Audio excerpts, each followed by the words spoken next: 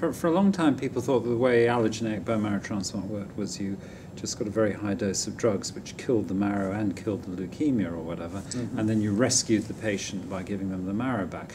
Then I think probably when, when people started analyzing what the outcome was of individuals with graft versus host disease, they found that people who had graft versus host disease actually overall had a much lower rate of relapse than patients who didn't have graft versus host disease. And then, sort of almost simultaneously with that, the programs of T cell depletion came into play, in which T cells were deliberately removed from patients so they no longer got graft versus host disease.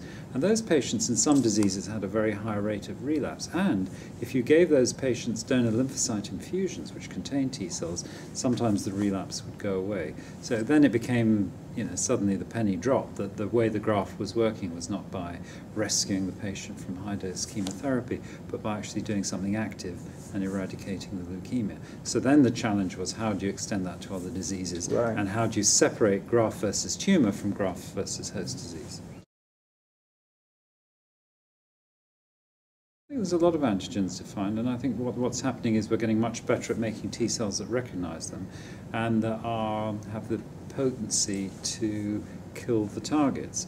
Now, I think just getting T cells that are potent and able to recognize targets is one stage, but we're obviously then going to have to do several other things, which will include develop countermeasures to the various strategies that tumors use to evade the immune system. And some of those are like having a very dense stroma into right. which the, even T cells can't penetrate.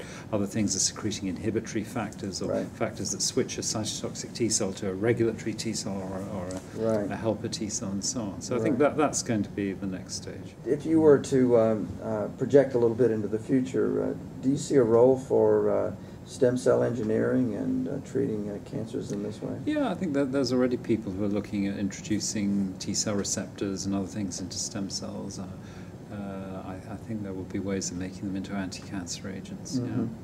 We're, we're, sticking with the T cells for the moment, but in principle, it could be any cell that could evolve into a effector cell. T cells are obviously only one small component of the immune system. There's probably a lot of other components that are responsible for anti-tumor activity, and if you change a T, uh, a stem cell appropriately, you might be able to produce a whole diverse repertoire of responses.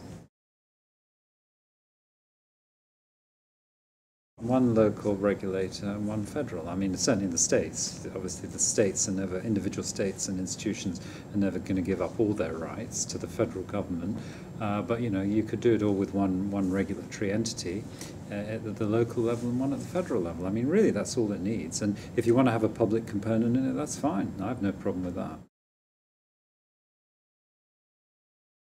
Pay as you go is really something that you do when you're trying to develop the product in terms of it being licensable.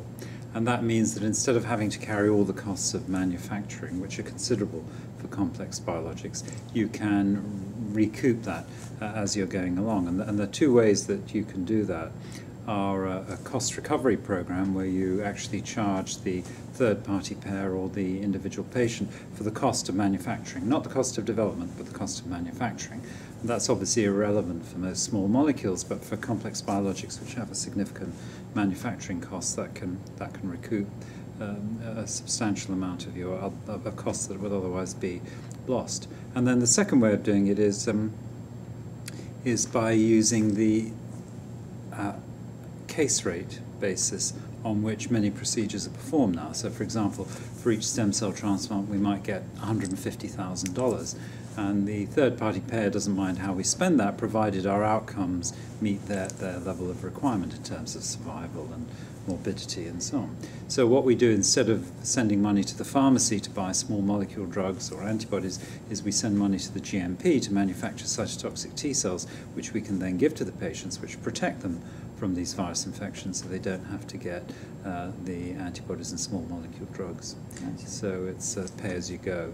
And then the pay as, uh, pay as you play is based on what we assume will be the survival advantage of these agents versus conventional therapy. And the obvious example is hemophilia, where a single dose of a, of a viral vector might protect you against uh, bleeding for five years, say, in which time you would normally use perhaps half a million dollars worth of, of clotting factor. So in that case, you could price the, the uh, cost of the vector per year for every year that you don't have to use clotting factors. So the insurance company, the third party payer, will pay so much per year uh, that you didn't use the, uh, the, the clotting factor. Now, for cancer, as we get better and better at predicting how long patients are going to uh, live with each type of tumor, you can look for adjusted uh, life years. So each additional year of survival, the insurance company can agree in advance to pay uh, the money. And there's, there's other factors that will come into that in terms of you know, how much money did the insurance company normally have to pay for the patient to be admitted to hospital because of the toxicity of, of drugs and the failure of drugs and um, palliative procedures and all those other things that hopefully would go away. So I think that if you do these cost analyses, these comparative effectiveness analyses, you can come up fairly quickly with just what these drugs, these, these complex biologic agents cost overall compared to conventional therapy. And then that difference can be factored into reimbursement.